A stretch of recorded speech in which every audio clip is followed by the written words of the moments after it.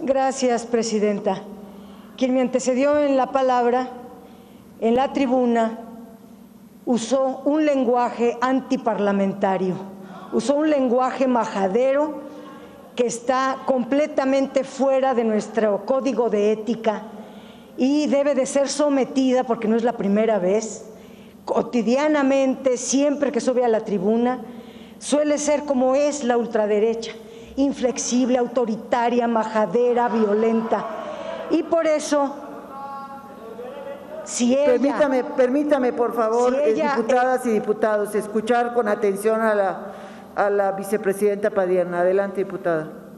si exige respeto, ella primero tiene que darlo y tiene que comportarse como verdadera parlamentaria, porque parece que llega a una cantina y esta no es una cantina, esto es la Cámara de Diputados.